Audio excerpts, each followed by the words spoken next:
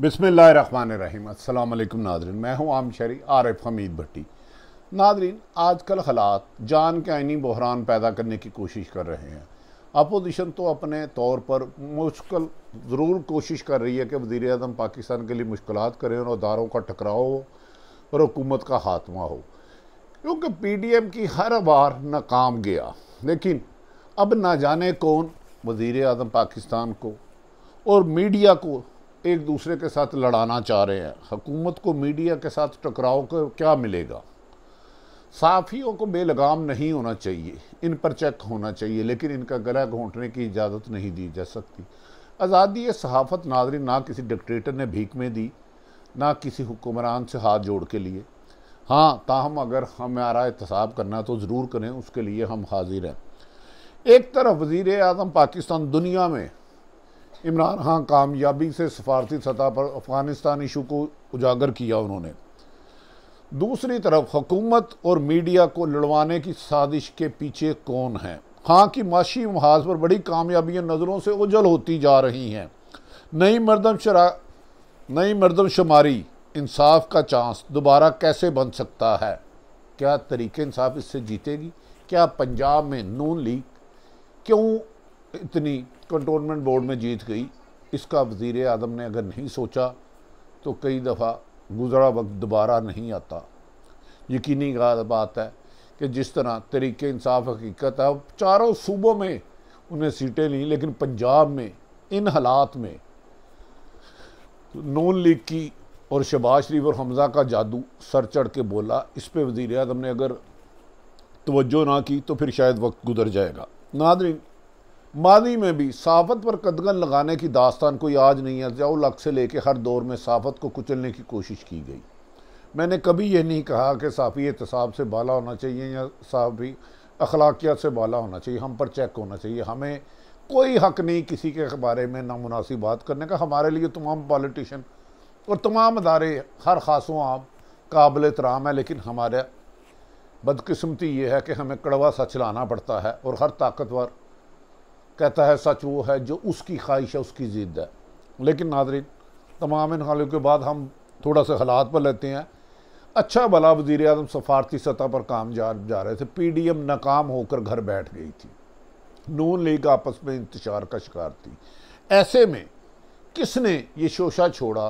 हुकूमत और मीडिया को लड़वाने की भरपूर की कोशिश की जा रही है। आज और कल इस्लामाबाद में भरपूर एहतजाज बता रहा है। कि वज़ी अजम जो भी फैसला करें, जल्दबाजी की बजाय आइन और कानून के मुताबिक करें।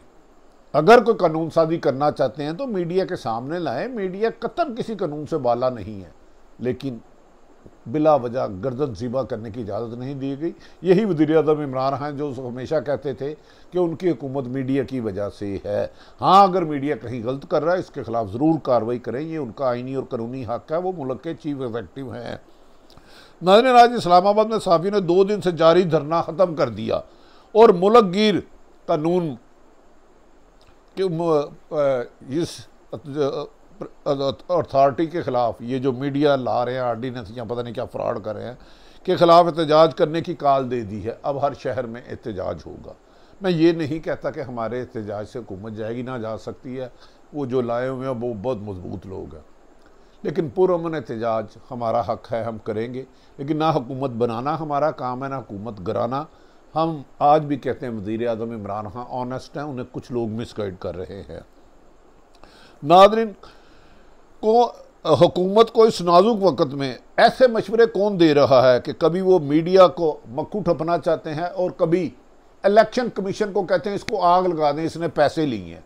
आइनी इदारों से टकराओ, मीडिया से टकराओ। ये अच्छा इकदाम नहीं है।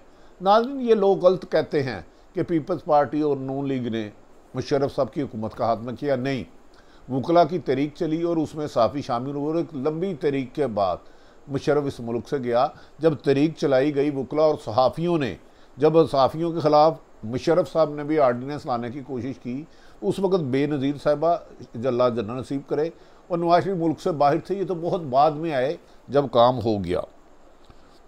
अब ये भी कहा जा रहा है, नया ऑर्डिनेंस अथॉरिटी मीडिया बिल ये है क्या? इसका काम क्या करेगा? कितने जुर्माने लगाएँगे? कैसे लगाएँगे? इसकी तफसीलात शेयर करने में क्या हर्ज है? अगर आपकी नीयत ठीक है, आप मुल्क की बेहतरी के लिए कानून लाते हैं तो साफियों का फ़र्ज़ है आपके साथ दो कदम आगे बढ़कर ताउन करें। लेकिन इसके लिए, इसके ज़रिए, ताकत के ज़रिए साफियों को कुचलने का शौक पूरा नहीं होगा। वज़ी अजम साहब, हम खुद कह रहे हैं, हमारे ख़िलाफ़ कोई शिकायत तो कार्रवाई की जाए, हमें ना छोड़ा जाए, लेकिन खुदारा अपने नादान दोस्तों से बचाएँ। एक तरफ़ आपको आइनी इदारे, इलेक्शन कमीशन से लड़ाया जा रहा है, दूसरी दफर सहाफ़त को, और सहाफ़त के लिए तमाम पॉलिटिशन काबिल एहतराम है। बस, एक तरफ़ तो हुकूमत बता नहीं रही कि वो जो अथॉरिटी ला रहे हैं, उसमें है क्या, मकसद क्या है? मीडिया डेवलपमेंट अथॉरिटी है क्या? इसके बारे में किसी को पता ही नहीं है। सिर्फ़ सोर्स से खबर नहीं चला सकते ज़बान बंदी फेक न्यूज़ फेक न्यूज़ भाई फेक न्यूज़ के तो हम खुद खिलाफ हैं। साफ़ी फेक न्यूज़ दे तो सबसे पहले उसका दफ्तर उसको नौकरी से निकाल देता है। इसका निज़ाम बड़ा शफाफ है, पंद्रह फ़िल्टर लगे हुए हैं। इसके बावजूद भी गलती हो सकती है, उसके लिए हाजिर है, लेकिन मुदाकरत करें। और अगर कोई तब्दीली करनी है, ज़रूर करें, लेकिन अतमाद में लेके। ज़ुबानी कलामी बताया जा रहा है, हुकूमत ये करेगी, वो करेगी, छोड़ेगी नहीं, हर चीज़ भी वादया तौर पर होगी। दस्तावेजी शक्ल में सहाफ़ी बरदरी के साथ एक कागज़ भी शेयर नहीं किया गया, ये ले जी, हम बेहतरी के लिए ये ला रहे हैं। अगर मुल्क के लिए बेहतरी होगी, चाहे सहाफ़त को कंट्रोल करना होगा, या उन्हें आइन और कानून चलाना होगा तो हम हाजिर हैं हर ताउन के लिए, लेकिन जबर नहीं, ज़ोर नहीं, ताकत नहीं। Pakistan media development authority PDA के तहत कहा जा रहा है, टीवी चैनल्स पर 25 करोड़ रुपए तक जुर्माना आयद किया जा सकता है। और भाई, हम सियासतदान नहीं है कि बीस, पचास पचास करोड़ लगा के इलेक्शन लड़ें। और जहाँ इससे कबर मौजूद कवानीन के तहत चैनल पर 10 लाख तक जुर्माना था, उसे 25 करोड़ बढ़ा दिया गया है। और साफ़ी बरदरी को रिपोर्टर को 10 करोड़। वो भाई रिपोर्टर की तो तनख्वाह पचास, साठ हज़ार होती है। रिपोर्टर अपना सारा ख़ानदान बेच दे तो 10 करोड़ नहीं दे सकता, मेरे मोहतरम। आपने प्रिंट मीडिया में पचास, चालीस चालीस साल से काम करने वालों की तीस हज़ार सैलरी है। आपको कौन मिसगाइड करे जुर्माने करें, सजाएँ दें, लेकिन कत्लो गारत ना करें। साफ़ पर कदगन ना लगाएँ साफत का गला ना काटें। साफ़ियों के एहतजाज में आज अपोजिशन ने भी मिल के साथ खड़ी हो गई बराबर बटोर आसफ अली जरदारी माजी में याद रखें कि मुस्लिम लीग नून ने एक अखबार, उर्दू है जंग, जिसे 98 में एक सफ़े पे ला दिया था और एफ़ आई ए खड़ी कर दी थी। सबसे ज़्यादा कदगन उन्होंने लगाई। साफत में हर दौर पर ही कदगन रही। अब सहाफ़ी बरदरी एहतजाज की पोजीशन में आई है तो अपोजिशन नंबर बनाने के लिए आके तकरीरें शुरू करने शुरू कर दी हैं। वो अपना पॉइंट स्कोर करना चाह रहे हैं वज़ीर अजम साहब और हुकूमत। गुजारिश है, हम आपके खिलाफ पार्टी नहीं साफ़ी किसी भी जमात के खिलाफ पार्टी नहीं। खुदारा होश के नाहुन ने अगर कोई तरमीम करना चाहते हैं, सौ दफ़ा करें। सोशल मीडिया और नेशनल मीडिया को कंपेरिजन करना नामुनासब है। नाजन शबाज शरीफ, बिलावल, यहाँ तक कि जे यू आई के नुमाइंदों ने भी सहाफ़ियों के साथ एहतजाजी कैंप का दौरा किया और मौलाना फजलरहमान ने भी आज़ादी सहाफ़त का दर्स दिया, बुत हमको कहें काफर।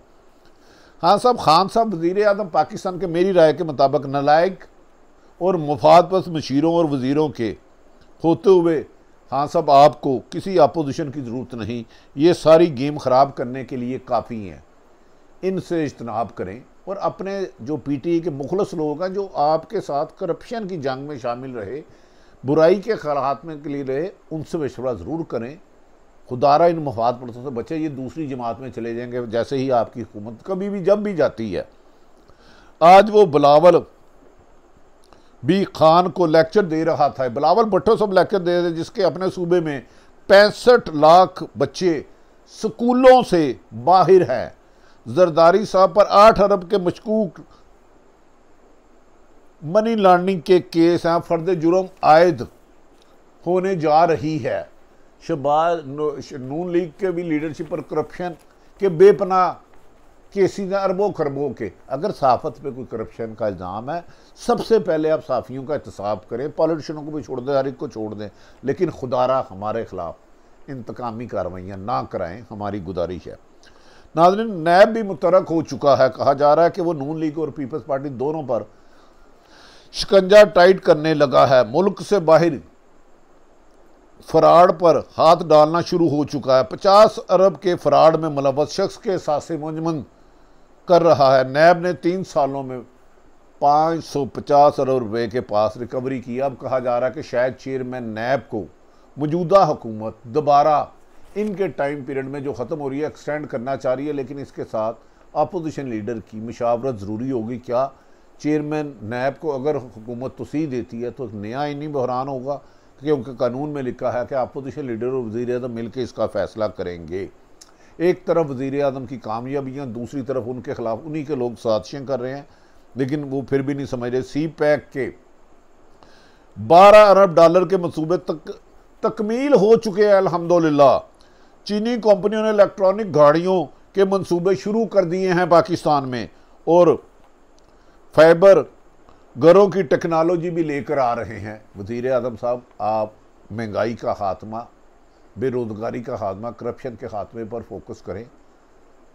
और जो जो भी करप्शन की रेंज में आता है, उसे ना छोड़ें। सबसे पहले साफियों से लेकर कोई भी अदारा हो। ऐसे शानदार खबरों को प्रमोट करने की बजाय जो वज़ीर अजम के हक में जाते हैं, हुकूमत के अच्छे काम हैं करवाने की बजाय खान साहब के मशीर मीडिया से ही उलझ रहे हैं। और भाई, हम तो कमज़ोर लोग हैं, ना हम 20 करोड़ का वकील कर सकते हैं, ना पाँच लाख लाख बंदों का जुलूस निकाल सकते हैं, लेकिन पुरमन आवाज़ और तहरीर से अपना एहतजाज ज़रूर कर सकते हैं।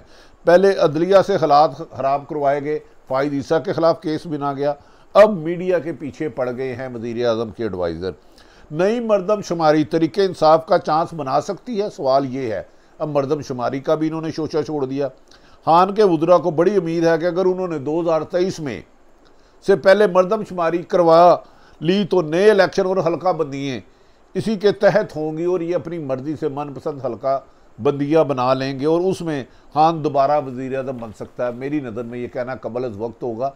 अगर ये दो साल आने वाले वज़ीर अजम पाकिस्तान ने महँगाई पर काबू पा लिया, बिजली, पेट्रोल, गैस की कीमतों में कमी कर ली, आम आदमियों के लिए तलीम, सेहत तो रोज़गार दे दिया तो फिर अगला इलेक्शन बनेगा, वरना उनके लिए मुश्किल में इजाफा होगा। नाजिन कहा जा रहा है कि उनके नई मरदमशुमारी जाली वोटों का खात्मा हो जाएगा, हुकूमत का मौक़ है और तब ही पीपल्स पार्टी और नून लीग की चीहें निकलेंगी। जाली वोटों का खात्मा ज़रूर करें, लेकिन सब आइन और कानून में रह के। वज़ी अजम साहब, आपको, आपके लोग जो दारों से लड़ा रहे हैं, उनसे अजतनाब करें, वो आपके लिए मुश्किल में इजाफा कर रहे हैं। पाकिस्तान के ओवरसीज़, पाकिस्तान को वोट का हर हाल में हक दें। इलेक्शन असलाहत हर हाल में लाएँ, इसमें अपोजिशन रुकावट डालेगी, लेकिन डटे रहें। साफ़ियों को यहाँ जजों को या जर्नलों को कोई भी इदारे को माफ़ ना करें, जो कानून से वायलेशन करता है, अख्तियार से तजावज़ करता है, लेकिन ना हक, ज़ुबान बंदी फ्रीडम ऑफ़ प्रेस पे कोई कंप्रोमाइज़ नहीं होगा।